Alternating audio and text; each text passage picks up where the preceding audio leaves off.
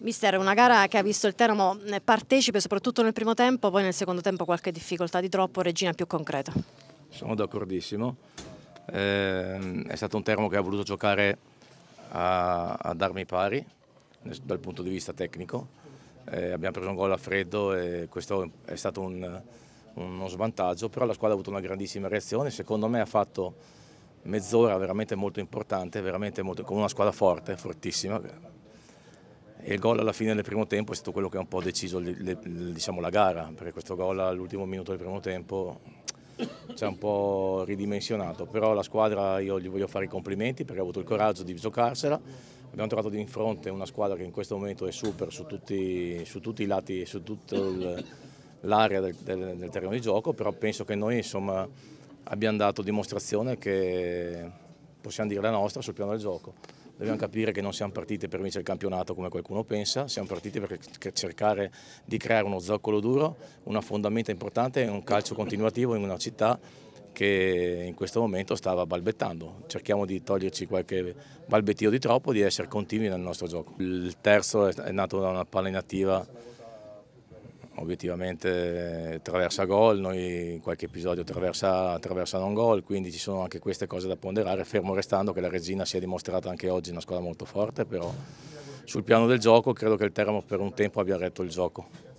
Dopo queste tre partite ravvicinate, Ternana, Bari sì, Regina, che no, c'è anche stata la situazione della Coppa Italia che ci ha rotto le scatole, ci ha rotto le scatole non tanto perché abbiamo snobbato la, non tanto perché abbiamo snobbato la Coppa Italia, non abbiamo sdobbato nulla, solo che fare ancora una trasferta infrasettimanale e mettere qualche giocatore acciaccato in campo obiettivamente ci ha dato fastidio. Delle volte noi ci si, ci, ci si sorprende di questo, quando a Teramo invece questo è una continuità.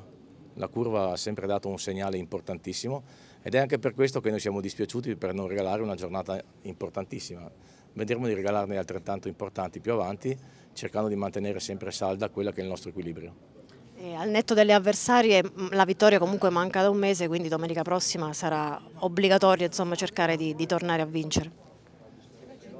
Sì, purtroppo nonostante le prestazioni a Bari e a quella a Termano in casa non sono arrivati tanti punti, in questo momento dobbiamo andare alla ricerca di trovare una vittoria, cercheremo già subito da domenica prossima.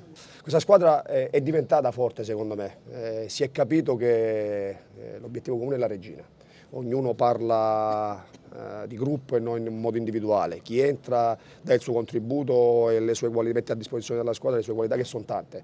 Cioè, avere Dennis che entra e fa bene, Dumbia fa bene, Bellome fa bene. Eh, è facile per me gestirli perché ho un gruppo di ragazzi intelligenti. Mister, voi forti, grandi qualità e il Teramo?